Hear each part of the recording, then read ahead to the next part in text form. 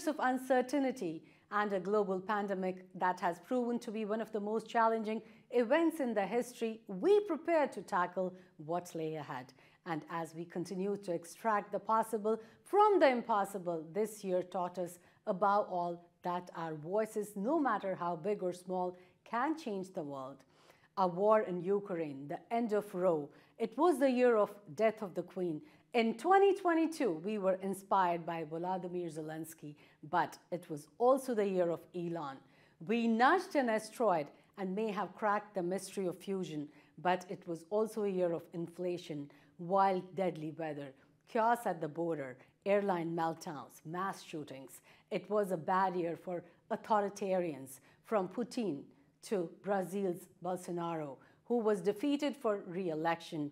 It was a good year as Iran's women rose up, even as Afghanistan descended into a new dark age of women's rights. In 2022, we saw statesmanship and heroism, but also flamboyant grifting, narcissism, and bigotry, a crypto meltdown.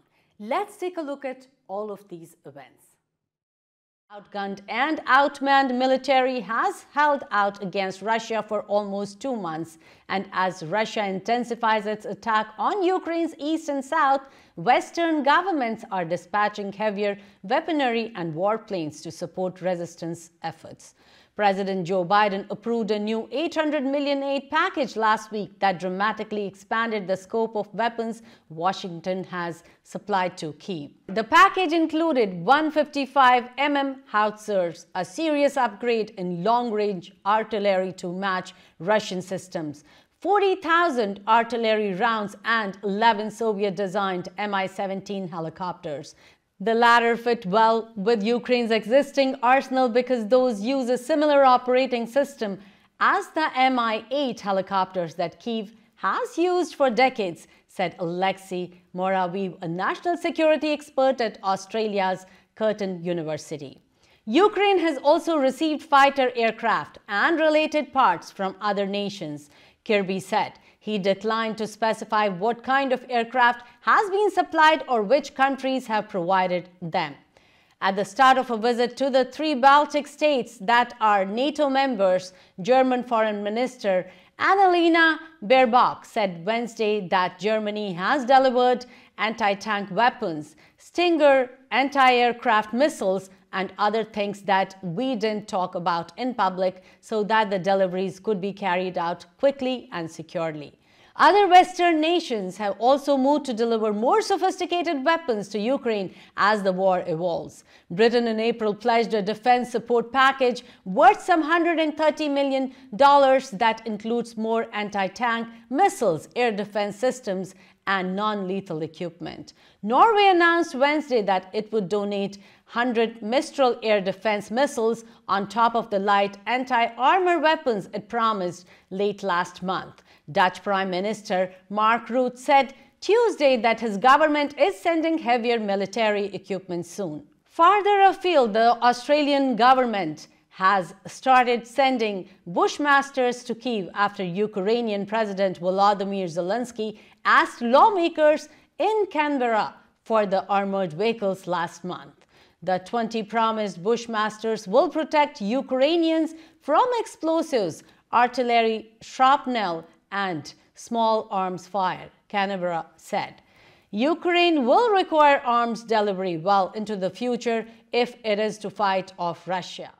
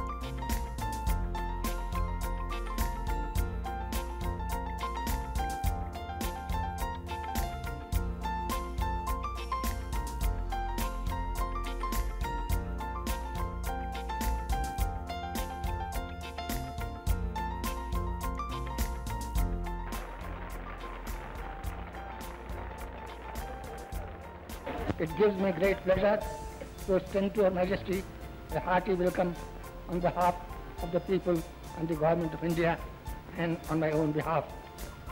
I am glad to be able to extend an equally warm and cordial welcome to His Royal Highness the Duke of Edinburgh, who is no stranger to us. The United Kingdom and India have had close relations for some 200 years. This long association between our two countries has left an abiding influence on our minds and on our institutions.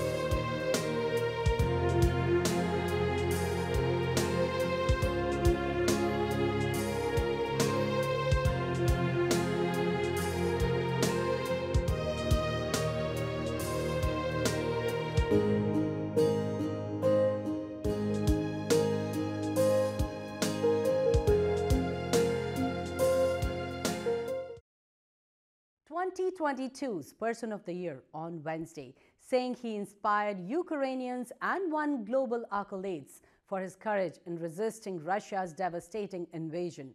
Refusing to leave Ukraine's capital of Kiev at the outbreak of the war as Russian bombs rained down, the former comedian rallied his compatriots in broadcasts from the capital and traveled across his war torn nation, the publication noted in bestowing its annual title. On Tuesday, Zelensky visited Ukraine troops near the front lines in eastern Ukraine. Zelensky's success as a wartime leader has relied on the fact that courage is contagious. It spreads through Ukraine's political leadership in the first days of the invasion as everyone realized the president had stuck around.